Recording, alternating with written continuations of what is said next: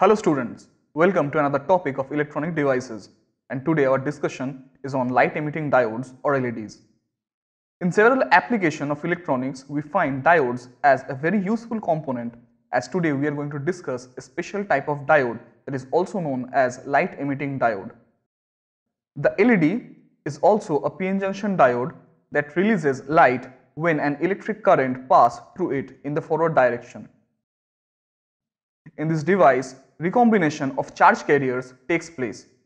An electron from n-side region and a hole from p-side region are combined and gives the energy in form of heat and light. The LEDs are composed of colorless semiconductor materials where the light is radiated from the junction of the diode. These LEDs are widely used in segmental and dot matrix displays of numeric and alphanumeric figures.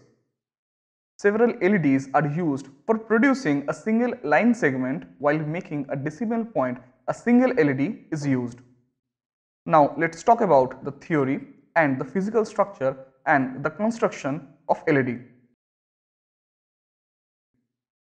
A light emitting diode is constructed in such a way so that the emitted light does not get reabsorbed within the substance.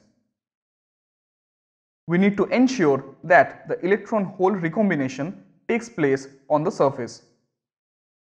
The figure displays the different ways of structuring an LED through PN junction. The p-type layer is built thin and it is fabricated on the n-type substrate. Metal electrodes connected on either side of the PN junction work as nodes for the external electric connection. The light emitting diode PN junction is encased in a dome shaped transparent case so that light is released uniformly in all directions with minimum internal reflection. The larger leg of the LED signifies the positive electrode or anode. Now LEDs with more than two legs are also possible such as 3 or 4 or 6 pin arrangements to get multicolors in the same LED package. Surface mounted LED displays are available that can be mounted on the PCBs. The gallium arsenide phosphoride is used for producing of the LED that emits red or yellow light for emission. Now through the LEDs there are also available in multiple colors.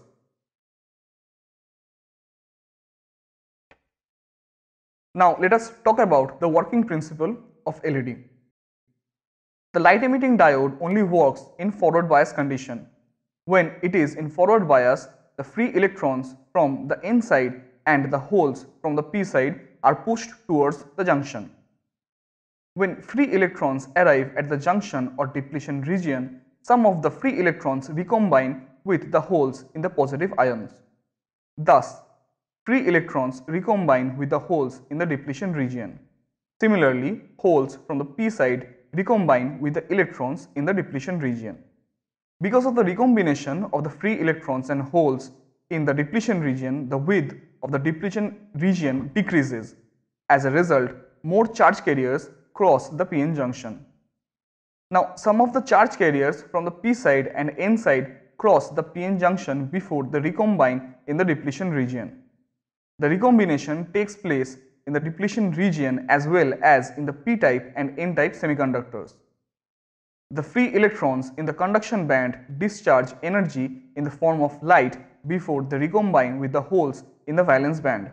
In silicon and germanium diodes, most of the energy is released in form of heat and transmitted light is too small. However, in materials like gallium arsenide and gallium phosphoride, the emitted photons have enough energy to produce intense visible light. Now let us look at the IV characteristics of LED.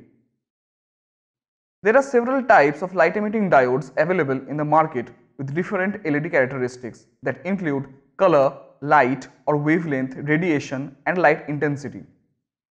The important characteristics of the LED is color. Keeping that in mind, we have plotted current versus voltage graph for all possible colors of an LED. Now, the applications of an LED are that it is widely used in electronic displays such as OLEDs, micro LEDs, quantum dots, etc. It is also used as an indicator in remote controls and in lightings. And with this, we have come to an end of this session. And today we have learned Introduction to light emitting diodes, physical structure and construction of LED, working principle of the diode, IV characteristics of the diode and the applications of the diode. We will meet again with another interesting topic soon. Till then, keep watching and keep learning. Bye.